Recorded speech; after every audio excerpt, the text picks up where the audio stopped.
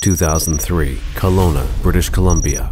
In the famous Canadian Okanagan wine region, a massive wildfire forced 27,000 residents to flee their homes.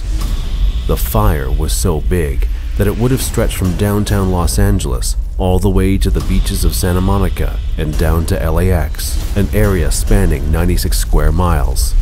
And being one of the driest summers in a decade, it made the fire wildly unpredictable as it headed towards people's homes. As it eventually entered residential neighborhoods, the massive fire destroyed 239 homes. But this house survived.